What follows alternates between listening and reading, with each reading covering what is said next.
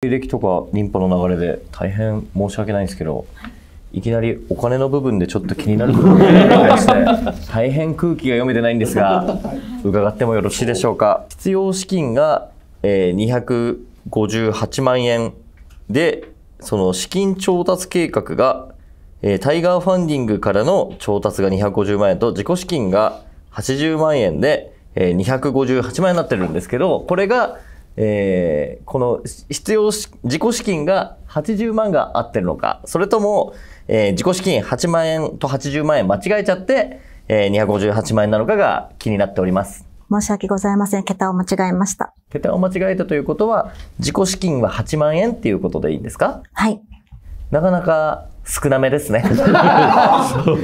なので、あの、まずそこを確認して、80万だったらちょっと自己資金っぽくなりますけど、自己資金8万円って相当お金ないのかなって思っちゃったり、とてもいいマッサージだったり、すごくいい講座だったら、さすがに80万とかぐらいあるんじゃないの？きっとは自己資金8万円じゃなくて、80万の方が合ってんのかな？そうしたら330だし、うーんと思ったんだけど、あんまり流行ってないとかっていうことなんですか？意地悪な質問で申し訳ないんですけど。確かにおっしゃる通りだと思っております。あの、言い訳がましいことを言って本当に申し訳ないんですが、はい。あの、2020年コロナ禍真っ只中のオープンをさせていただきまして、正直なところ、観光鳥がしばらく続き、赤字がずっと続きまして、最近ようやくコロナ禍から明けて、緊急事態宣言が明けてから、お客様があの来てくださるようになり、ようやく黒字化っていうところだったのでを極めたのはいつぐらいなんですか？リンパの勉強はもうリラクルにいた時からずっと。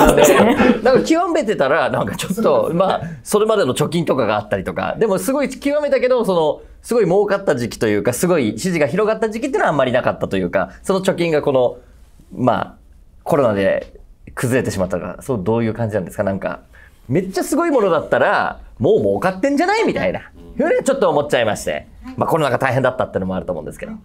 まずですね、それにお答えするとなりますと、あの、これもまた言い訳がましいかもしれないんですけど、あの、主婦をしている中で、貯められる金額っていうのが本当に限られておりまして、その自分の自己資金をもとに店舗オープンに全て使い切ってしまいまして、うんなるほど、なるほど。そうなんです。なので、正直なところ手持ちの自己資金がもうゼロ。あの、金融店舗がオープンした高校さんからのはいつなんであ、2020年です。なるほど。2020年コロナ禍の中、はい。作っちゃって大変だったわけですね。はい。わかりました。意地悪な質問してすいません。その時はいくらかけたんですか？